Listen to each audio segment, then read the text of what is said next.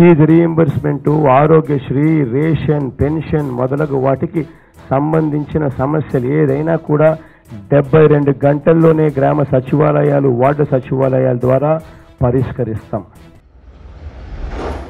ఎవరికైనా కూడా ఏదైనా కావాలి అని అంటే లంచాలు లేకుండా వివక్ష లేకుండా డెబ్బై రెండు గంటల్లోనే అది అందుబాటులోకి తీసుకురాగలిగే మెకానిజం కోసం ఈ వ్యవస్థ ఉంది అన్నది మర్చిపోవద్దు అని చెప్పి మీ అందరితో కూడా నేను కోరుతా ఉన్నాను.